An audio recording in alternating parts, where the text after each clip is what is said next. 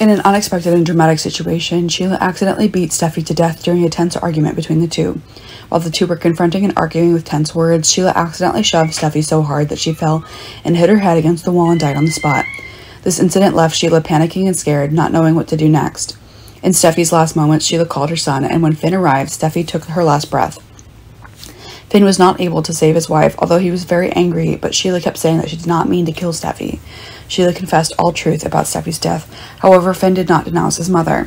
Finn decided to help her cover up the truth by creating a fake crime scene. He offers to help his mother construct a scene so the police believe that Steffy had passed away due to her terminal illness. This event marks a major change in the lives of both characters. Sheila, who caused Steffy's death, faces the terrifying consequences of her unintentional actions and feels remorse and guilt while Finn faces the difficult decision of keeping her secret. He must face possible consequences if this secret is revealed. Meanwhile, the relationship between Donna and Eric is under great pressure when Donna begins an affair with Zende behind her husband's back. This creates a lot of heartbreaking and conflicting emotions in the Forrester family. Eric is always loving and caring for his wife, but it is difficult when he has to deal with recurrent erectile dysfunction.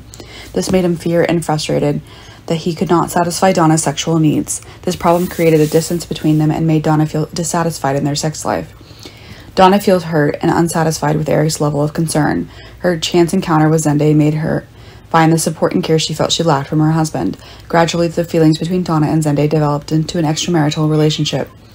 This leads Donna with a difficult decision to continue with an unhappy and unsatisfactory marriage or to end the relationship and find happiness with someone else. Donna has decided to leave Eric and go to Zende, who she feels can find true joy and happiness. This incident caused shock and conflict in the Forrester family.